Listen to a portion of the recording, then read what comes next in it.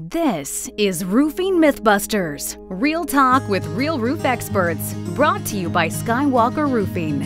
Thank you for taking the time to tune in with us. These are the roofing masters you've been looking for.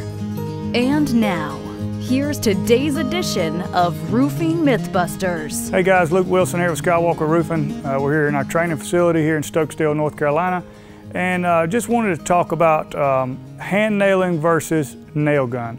It's a lot going around right now about it, and uh, everybody is wondering, hey, would it be okay if I have my roof put on with a nail gun? Will it, should I have it nailed by hand? And uh, I'm going to show you a couple things. It, I've been doing roofing my whole life. Uh, when I first started, I was using a hammer and nail, and later on in life, uh, now later, I decided to use a nail gun. I'm going to show you why. And um, first thing, let's use a hammer and nail. Just uh, all it is is a basic hatchet and some nails.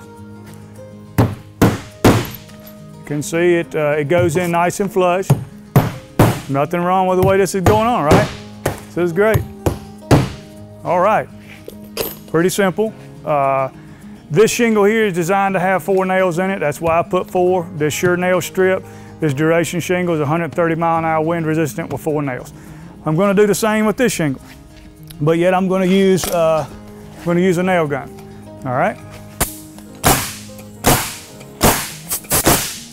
All right, do you see here, everything is put in exactly the same.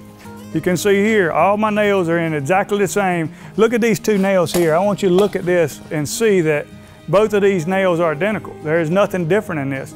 All it did was take me just a few seconds left to do it, but it's all done the same. Also, the manufacturer stands behind this just as good as they do this. Uh, now I'm going to show you one more thing uh, that's even different. All right. Now, what they're saying that you could do wrong with this gun is, uh, when I decided to put a roof on, and I don't know what I'm doing, so you could put this in the hand of anybody who's inexperienced, and they're gonna go put a nail in, and they might turn the gun sideways. And you see how that's sticking up? They might turn it, you know, they, they don't know what they're doing. So yeah, they might do things like this and put a roof on wrong. It is very possible. But also, this guy could do the same thing. So if I was nailing by hand, I might take and I'm just in a hurry. I just did the same thing there.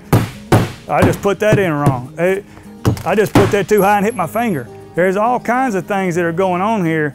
And what I'm trying to tell you is it's so important who is using this tool.